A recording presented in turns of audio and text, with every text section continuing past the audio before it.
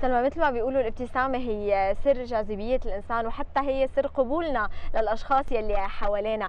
في ناس المشكلة أنه بتحاول تخفي هي الابتسامة بسبب مشكلة صحية موجودة عنهم. آه، من هي المشاكل موضوع؟ آه، رح نتابعه بالتقرير التالي ونرجع نحكي عنه.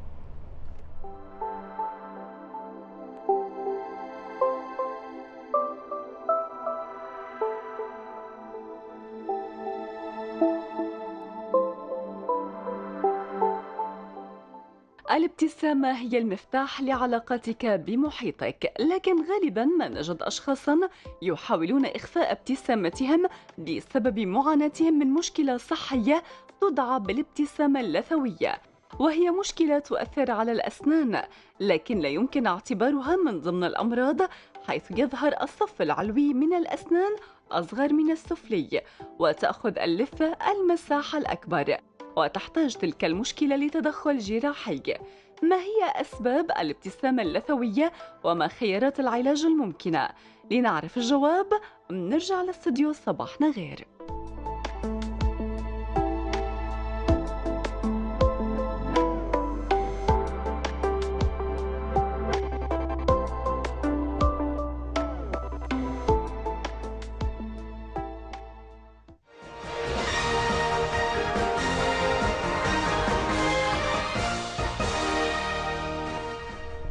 ميسان مثل ما تابعنا بالتقرير أولى مواضيعنا لليوم رح نحكي فيها عن الابتسامة اللثوية أو الجامي سمايل شو المقصود بالابتسامة اللثوية؟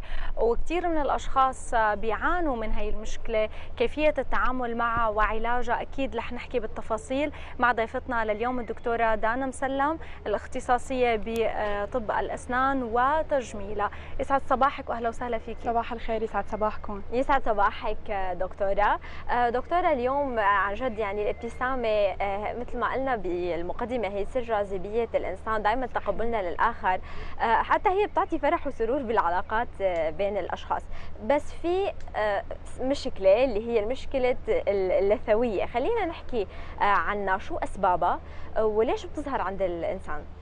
هلا بداية موضوع الجامي سمايل أو الابتسامة اللثوية هي عبارة عن إنه آه، ظهور كمية زائدة من النسيج اللثوي خلال الابتسامة الكاملة أو نعم. الابتسامة العريضة فعادة الشكل الطبيعي لما بيبتسم الشخص ابتسامة كاملة بتظهر أسنانه كلها مع جزء بسيط كثير من اللثة لما يكون عنده بيعاني الشخص من مشكلة الجامي سمايل بتظهر اللثة بشكل أكبر من المطلوب يعني أكثر من مثلا 2 ميلي خلينا نقول 3 ميلي فأكثر. هون صارت مشكلة تجميلية حقيقية اللي هي نعم. الجامي سمايل. يعني هي هي كتعريف بداية. نعم.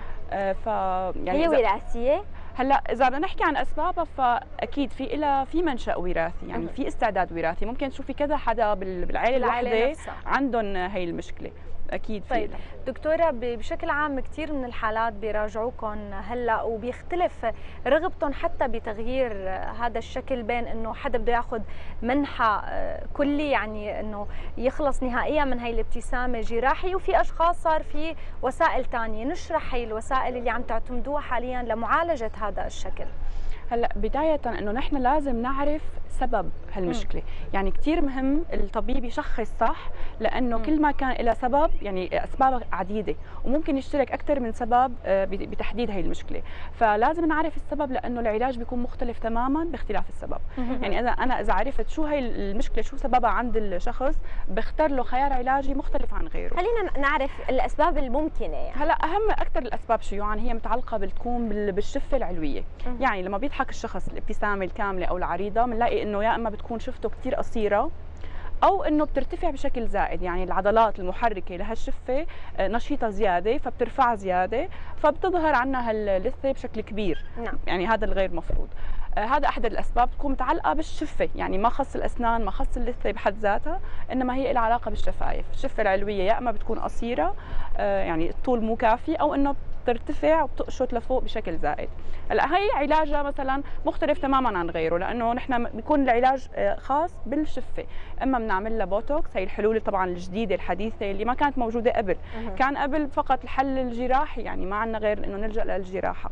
بينما هلا حسب الأسباب نختار علاج مثلا بسيط. بهالحالة اللي حكيتها ممكن نعمل بوتوكس بهالمنطقتين هون نقطتين هون نقطتين هون. بنخلي العضلات اللي عم تحرك هالشفة بشكل زائد إنها ترتاح بنشل العضلة بالبوتوكس فبترخي. بصير لما بيبتسم ما بيظهر هالمنظر هذا. بس هذا حل مؤقت فينا نعتبره؟ تماما أكيد. هلأ البوتوكس يمكن نحكى عنه كثير هي مادة آه، لها ميزات كثير سهلة سريعة يمكن غير مكلفة مثل العمل الجراحي بس آه، عيوبها هلأ صارت مكلفة. كل شيء هلأ مكلف.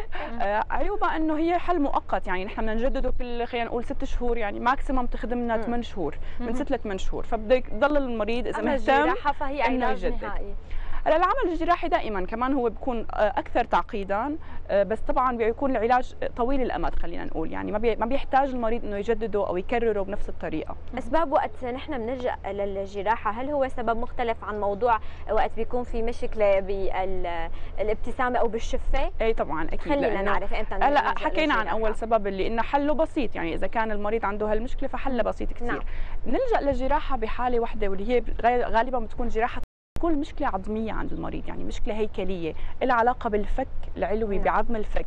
إما بيكون بارز للأمام آه، فلما بنضحك بيؤدي لإنه بيدفش الشفة لفوق فبتظهر اللثة زايدة. أو إنه بيكون آه، زيادة بالبعد العمودي يعني طول العظم الفك عندي زائد. يعني هي مشكلة نحن عم نحكي عظمية آه، من من الولادة من قبل يعني مو إنه مشكلة صارت مع المريض. فإما بيكون عنده عظم الفك طويل زيادة أو بارز okay. هون الحل الوحيد اللي عنده بده يكون هو عمل جراحي. يعني جراحة تقويمية أو جراحة هيكلية بنسميها. هون شوي أكثر تعقيدا. بتعرفوا لما بنقول عمل جراحي يعني في مضاعفات يعني في وذمه في ألم في آه، كدمات. فهون شوي بيعاني المريض وبده فترة للشفاء أو النقاهة أكبر بكثير من الحلول مثل البوتوكس. طيب دكتورة كمان دخل الليزر بالعلاج ال gummy smile. خلينا نحكي عن كيفية استخدامه وقد إيه ممكن يكون مفيد ومختلف عن العلاجين الثانيين اللي حكينا عنهم. حلو إنك حكيتي عن الليزر لأنه هو احدى يعني التقنيات كمان الحديثة مثل البوتوكس. يعني ما كانت موجودة سابقا فهلأ عم نستعين فيها وحل كثير سريع وسهل بس بتعالج حالة معينة اللي هي بيكون السبب إنه اللثة بحد ذاتها هي آه، آه، فيها ضخامة ما بتكون ضخامة لثوية أو بتكون هي نامية بشكل زائد يعني هي مغطية لي الاسنان فبيكون هون عندي الحل إنه أنا أقطع هاللثة. إما بالطريقة الجراحية بالمشرط أو صار عندنا هلأ خيار الليزر. الليزر أسهل. أكيد. آه، بيتميز بسهولته لأنه ممكن نحن نعملها للمريض بدون بدون تخدير. يعني كثير من الحالات ما بيكون فيها الألم يعني ألم كثير بسيط فممكن ما نحتاج تخدير ما في نزف. كمان هون هذا غير العمل الجراحي اللي فيه نزف كبير. فهون ما في نزف ما في كدمات.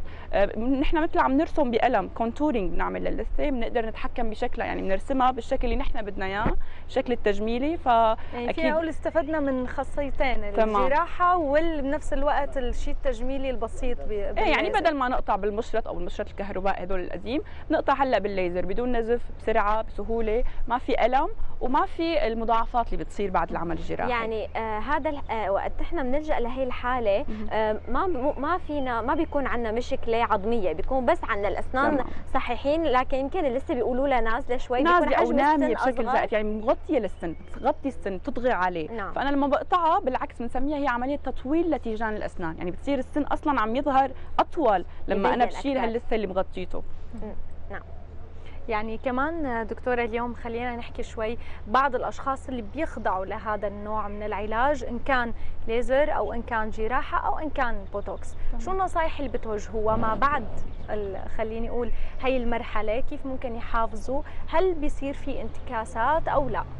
هلأ صراحة نحن بنعطيه بعض النصائح خصوصي إذا كان عامل عمل جراحي في نصائح كثيره له بس الحقيقة هي مو بإيده الموضوع. يعني إذا كانت الحالة ناكسة فهو الشخص ما بيقدر يعمل شيء. هي بعد فترة اللثة مثل أي نسيج بالجسم. آه، بينمو مع الوقت. فنحن بنقطع هاللثة بنعطيها شكل حلو كل شيء بس في احتمال كبير بنحط المريض بالصورة إنه ترجع تنكس ترجع تتكرر هالحالة. هلأ المهتم بالناحية التجميلية وهالمشكلة فعلا عملت له إزعاج أو إحراج فهو بيتابع بيتابع معنا. كل ما يحس إنه نزلت شوي بيرجع بيجي نعمل له هيك مثل touch بسيطة روتوش بسيط نرجع منعمل contouring لهاللثة. يعني اللي مهتم بهالناحية التجميليه أو معرضته لأذى لإزعاج آه، بيحلها يعني بيتابع معنا. ففي مرضى مثلا بيعتبروها إنه أصلا ما بيلاحظوها يعني هي نسبة وتناسب. يعني قد قد ما كان عم يظهر من هاللثه شكل زائد آه، ممكن يزعج المريض. إذا شيء بسيط في ناس كثير بلاحظ يعني أنا كطبيبة مختصة تجميليا بلاحظها. فورا. بينما الشخص نفسه ممكن يكون مو منتبه له وما بتعنيه وما يحاول أصلا إنه يعالجها الشخص يلي عنده الابتسامة اللثويه بشكل عام إذا هو عنده مثلا مثل ما قلنا إنه لسه شوي زايدة هل هن بيتضايقوا بشكل عام بحياتهم اليومية غير بالشكل التجميلي يعني بالمضغ بتفريش الأسنان أو بغيرها؟ صراحة لا لأنه هي مشكلة خلينا نقول تجميلية بحتة. تمام. يعني بشكل أساسي هي مشكلة تجميلية ما أنا مشكلة آه، صحية أو طبية. يعني ما بتزعج المريض بالأكل بالشرب بالحكي لا. هي غالبا يعني لها علاقة مرتبطة بالجمالية وقت الابتسامة. يعني غالبا المرضى اللي بيراجعونا بيقولوا لي إنه مثلا شوفي صورتي لما عم ببتسم بالصور عم حس إنه في شيء غلط. ما بيكون أصلا قدران يحدد شو المشكلة. فهي تجميلية بحتة. آه، ممكن تصير مشكلة صحية إذا ترافقت مع أمور أخرى لها علاقة بسوء ارتصاف الأسنان مم. بالتهابات اللثة يعني بمشاكل ثانية غير. نعم. أكيد. يعني اليوم أعطيتينا نصائح متعددة عن مشكلة ممكن تكون شائعة عند بعض الأشخاص وكيفية علاجها. بدنا نشكر وجودك معنا دكتورة دانا مسلم شكرا لك. اختصاصية بطب الأسنان علاجها وتجميلها. شكرا لك شكرا كثير لك دكتورة.